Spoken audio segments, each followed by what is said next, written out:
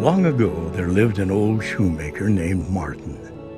Martin lived alone in his humble shop, but his work was of the finest quality, and he was always honest with his customers. He tried to live the way the Savior taught. One night, as he was sleeping, he heard a voice. Martin, Martin, look tomorrow on the street, for I am coming. Martin awoke unsure if he had been dreaming. That morning he set to work as usual, but could not help but look steadfastly out the window onto the street, just in case his beloved Savior appeared. As he was watching, Martin noticed an old soldier out in the freezing cold, shoveling snow. Martin invited him into his shop and gave him something warm to drink. Later in the day, Martin noticed a young mother cradling a small child in her arms. She had no coat. Martin insisted she come in and warm herself by the fire.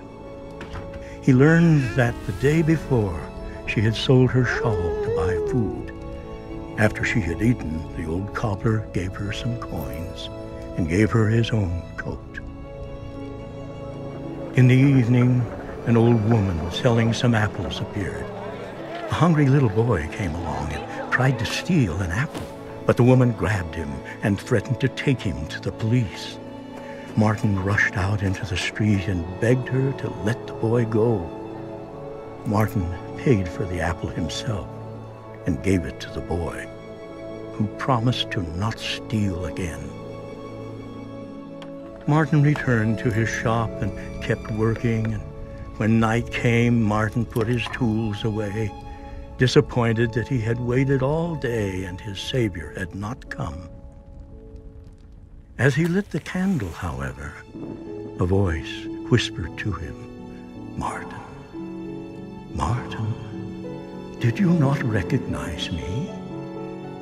From the dim corner of his shop, the old soldier, the mother and her child, the boy and the old woman stepped into the light. It is I, they whispered. And then the old cobbler understood. He pulled out his well-worn scriptures and read these words. For I was an hungered, and ye gave me meat. I was thirsty, and ye gave me drink. I was a stranger, and ye took me in. Inasmuch as ye have done it unto the least of these, my brethren, ye have done it unto me. And then Martin knew his dream had been real after all, and the Savior truly had visited him that day.